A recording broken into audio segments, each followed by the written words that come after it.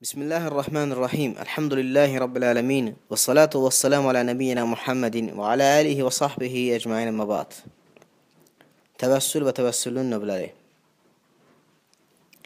تبسل اللغة بمعنى ضاء وصيلة دمائدي يعني واسطة تطمخ همسي شاري معنى ضاء الله من أزارون ضاء يعني واسطة تطمخ دمائدي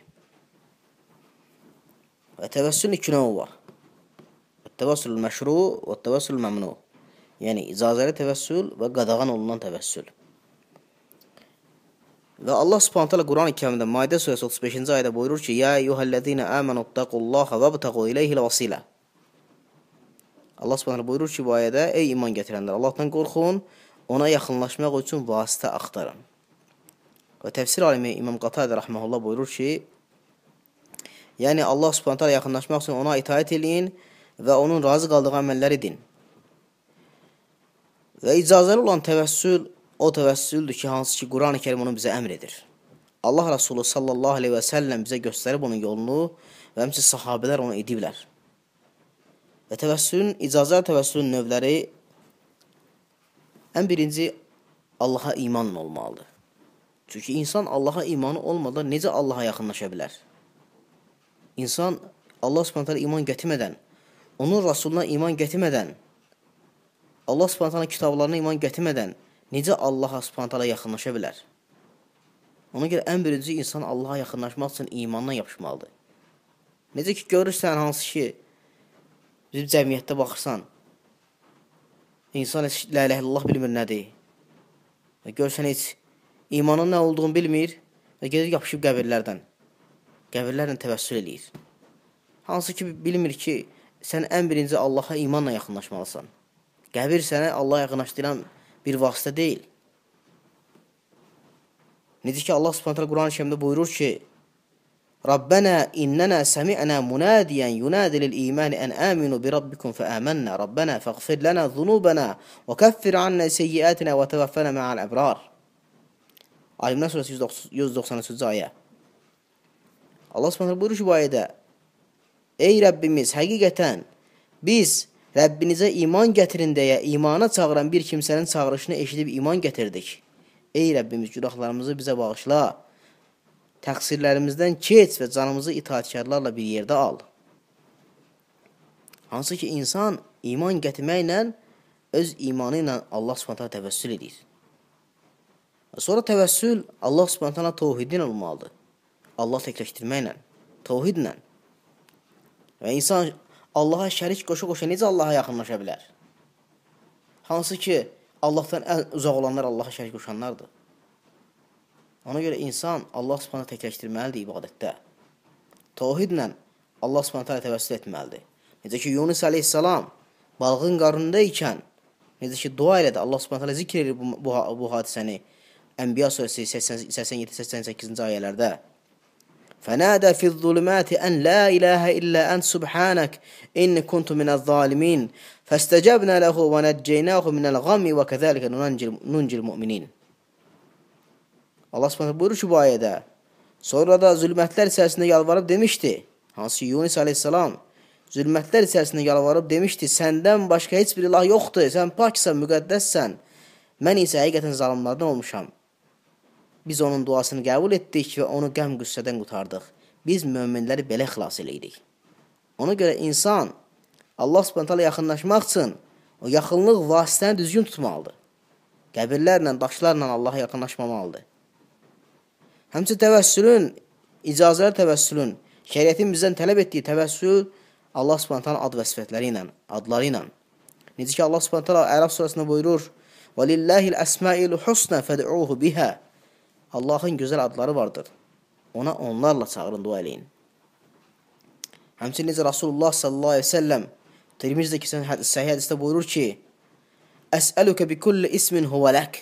Allahım mən səndən sənin adlarınla səndən istəyirəm. Həmçinin təvəssül Allah Subhanahu kamal sifətlərindən təvəssül etmək Allah Subhanahu. Necə ki Allah Rasulü sallallahu əleyhi və səlləm Həmçinin Tirmizdə keçən digər rəvayətdə hədisdə buyurur ki: "Ya Hayyu ya Qayyum bi rahmetika əstəğithu əslih li şə'ni kulluhu Və la təkilni ilə nəfsi tərfata aynin. Necə ki, Allah Rasulü buyurur ki, ey hay və qayyum olan Rəbbim, rəhmətinlə səndən kömək diləyirəm. Mənim bütün işlərimi yoluna qoy və məni bir göz qırpımı belə başlı başına buraxma. Həmçinin təvəssül olur salih əməllərlə, namazla. Namazsız sən necə Allaha yaxınlaşa bilərsən? Namaz İslamın ikinci dirəyidir. La ilahe illallah. Şəhadət şəhadətdən sonra ikinci dirəkdir namaz. İnsan bilməlidir Allah Subhanahu taala yaxınlaşdıran o yolu tutmalıdır. Qəbirlə, daşla, ağacla sən Allaha yaxınlaşa bilməzsən, ey miskin insan. Ona görə namaz hansı ki salih əməllərdən valideynlərə yaxşılıq etmək, əmanəti qorumaq, sadiq olmaq, Quran-ı Kərim oxumaq, Allah Rasuluna tabi olmaq və digər salih əməllər. Həmçinin Allah Subhanahu yaxınlaşdıran təvəssülün növlərindən asiləri tərk etmək. Görürsən insan asilik içərisində qalıb, günahlar içərisində qalıb və gedib yapışır qəbirdən ki, Allaha yaxınlaşacaq. Subhanallah. Hansı ki, asilikləri tərk edib Allaha yaxınlaşdırmaq, yaxınlaşmaqdansa gedib qəbirlərdən yaxınlaşır Allaha. Hansı ki, onu yaxınlaşdıracaq əməl günahları tərk etməlidir. İçki, zina, faiz və digər böyük müharrəmətlər, haramlar.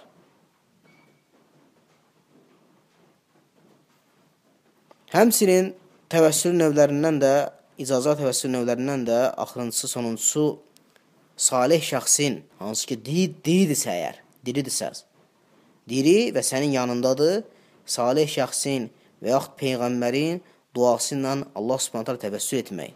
Necə ki, hansı ki, Allah Rasulü sallallahu aleyhi ve sellem zamanında bir kişi göz ağrıyırdı, gəldi sallallahu aleyhi ve sellem yanına, dedi ki, ey Allahın elçisi, mənim gözüm ağrıyır, Bəs mənə dua elə, gözüm sağalsın. Allah Rasulü sallallahu aleyhi ve sellem dedi ki, istəyirsən səbr elə, bu sənin üçün xeyirdir. İstəyirsən dua eləyim, şəfa tapasan. Və kişi dedi ki, dua elə, ya Rasulullah.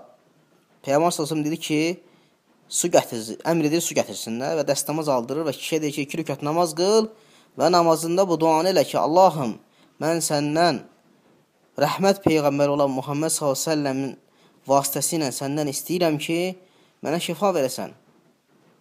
Və kişi iki rükət namaz qılır və bu duanı eləyir, Allah s.ə.v şifa verir və gözü sağalır.